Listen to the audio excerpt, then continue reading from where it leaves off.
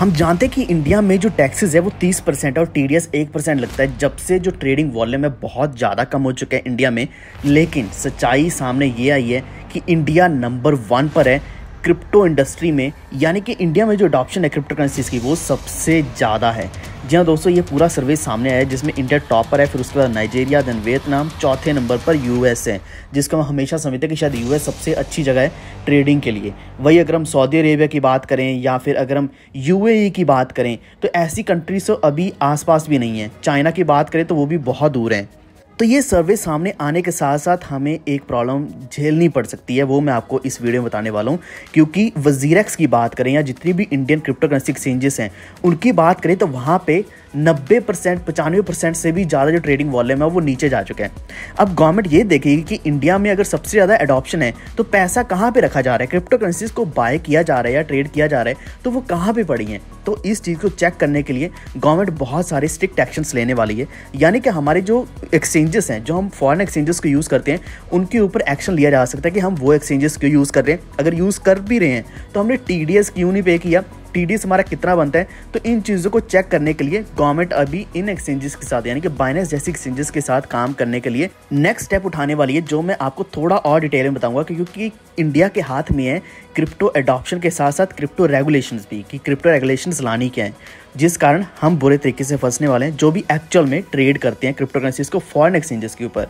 तो ये video important होने वाला है अभी से लाइक कर दो। चैनल पर पहली बार आए तो प्लीज़ सब्सक्राइब करके बेल आइकन दबा लीजिए, ताकि आप तक आने वाली वीडियोस के नोटिफिकेशन हमेशा पहुँच रहे। इसी के साथ हमारे टेलीग्राम ज्वाइन कर लीजिए वॉफ ट्रेड ऑफिशियल आप सर्च कर सकते हैं, या फिर आपको लिंक डिस्क्रिप्शन में मिल जाएगा, जहाँ पे सारी अपडेट्स आपको सबसे पहले मिलने वाली है। जैसे कि ऑलरेडी मैंने आपको यहाँ पे बिटकॉइन की कई सारी अपडेट्स दी हैं बाइनस यूएस की अपडेट्स दी हैं, कि वहाँ पे जो सी है वो क्विट कर गए, और इसी के साथ जॉब्स का भी कट डाउन किया गया। तो हर एक अपडेट आपको सबसे पहले वहीं पे मिलने वाली है।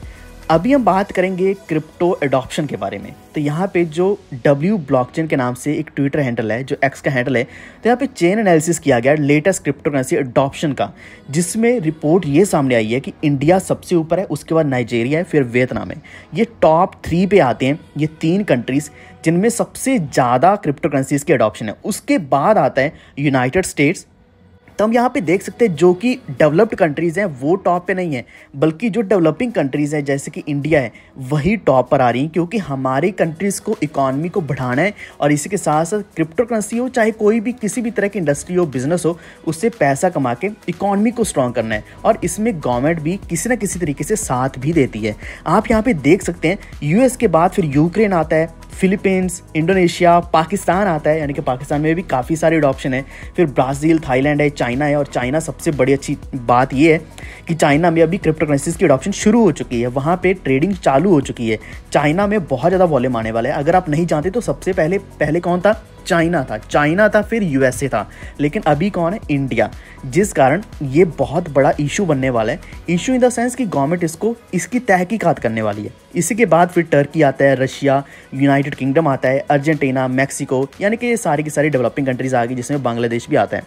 फिर कुछ डेवलप कंट्रीज़ की बात करें जैसे कि जापान है, कनाडा है, मोरक्को है तो कुछ डेवलप कंट्रीज़ की लिस्ट में बहुत लास्ट में नाम आता है। तो इंडिया का नाम सबसे ऊपर कैसे आ गया?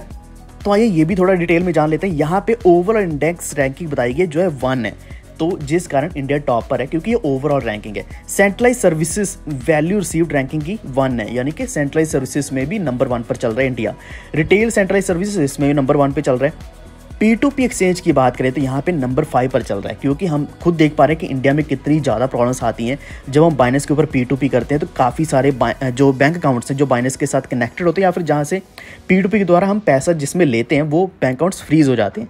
लेकिन नाइजीरिया की बात करें तो नंबर वन पर है वियतनाम की बात करें तो दूसरे नंबर पर है। इसी के साथ जो बाकी रैंक्स हैं, बाकी कंट्रीज़ के बहुत ज़्यादा नीचे हैं, लेकिन इंडिया टॉप फाइव में आता है। डिफाई वैल्यू रिसीव्ड इसकी बात करें, इसकी रैंकिंग है नंबर वन क्योंकि बहुत सारे हमारे जो इंडियंस हैं, उन्होंने डिफाई को यूज़ करना शुरू कर दिया इवन डेक्सेस को यूज़ करना शुरू कर दिया, क्योंकि सेंट्रलाइज एक्सचेंजेस के ऊपर बहुत सारी प्रॉब्लम्स आ रही हैं। प्रॉब्लम्स इन द सेंस कि टैक्स इतना ज़्यादा कलेक्ट किया जाना शुरू कर दिया गया है। टीडीएस बहुत ज़्यादा हो चुका है, जिस कारण अभी डिफाई और डेक्स दोनों को यूज़ किया जा रहा है। इसी के साथ रिटेल डिफाई की बात करें तो ये भी नंबर वन है। तो आप यहाँ पे देख सकते हैं नंबर वन पर मोस्टली इंडिया ही है। टू पर नाइजीरिया या फिर उसके बाद अगर हम बात करें तो यूनाइटेड स्टेट्स आता है, जिसमें सेंट्रलाइज सर्विसेज़ या फिर डिफाई वैल्यू रिटेल डिफाई इनमें दो नंबर पर यूनाइटेड स्टेट्स आते हैं। तो आप देख सकते हैं, इंडिया सबसे ऊपर है क्रिप्टो करेंसीज की अडॉप्शन में।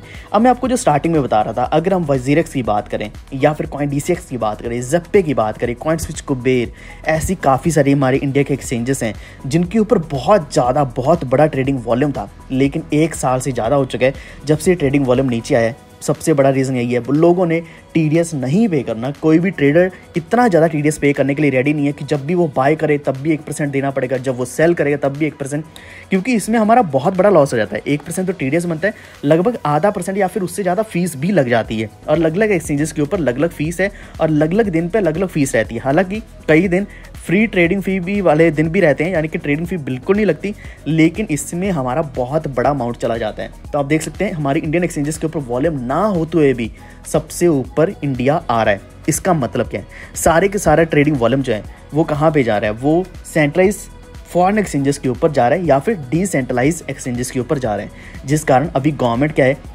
इसके ऊपर एक बड़ा एक्शन लेने वाली है। एक्शन इन द सेंस कि हर एक चीज़ को ट्रैक किया जाएगा, कि डिसेंट्रलाइज एक्सचेंज अगर आप यूज़ कर रहे हो तो उसका भी आपको पूरा बताना ही पड़ेगा। हर एक जो एड्रेस है, उसको भी ट्रैक किया जाएगा।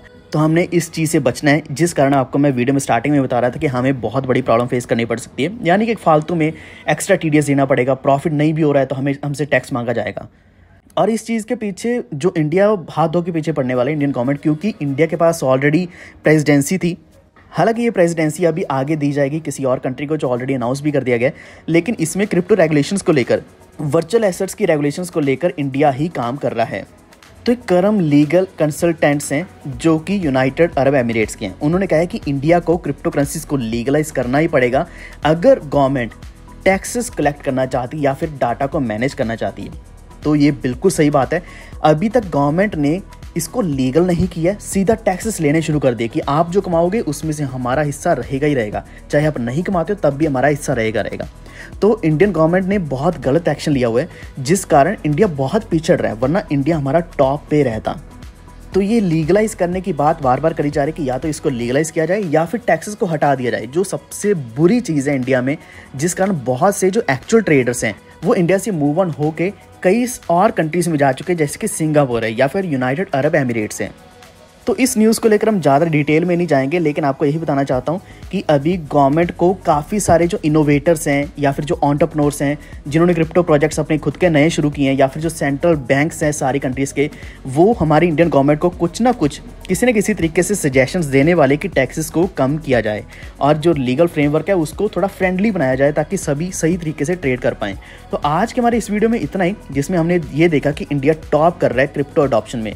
आपका क्या मानना है इसके बारे में, एक बार नीचे कमेंट करके ज़रूर बताएँ। अगर आपको ये वीडियो अच्छा लगा है please like and share this video क्योंकि बहुत अच्छी बात है कि हमारा इंडिया सबसे आगे चल रहे हैं क्रिप्टो अडॉप्शन में। और इसी के साथ हमारे यूट्यूब चैनल को सब्सक्राइब कर लीजिए वॉफ को, ताकि आप तक आने वाली वीडियोस के नोटिफिकेशन हमेशा पहुँच रहे ये वीडियो देखने के लिए धन्यवाद।